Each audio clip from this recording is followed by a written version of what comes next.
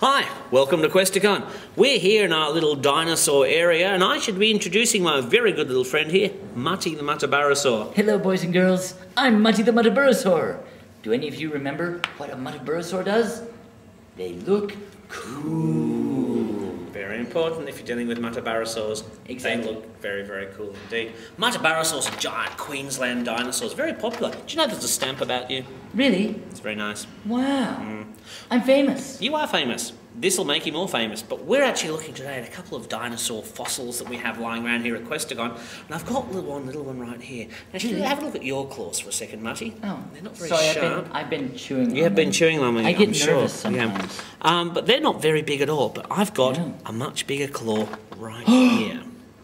Now this Um. Came from a raptor dinosaur, one called Deinonychus, which means terrible claw. And this was that terrible claw. This was on its middle toe, Wow. and this would have been covered in nail. Well, Quite like my fingernails as well, which would have made this much, much sharper.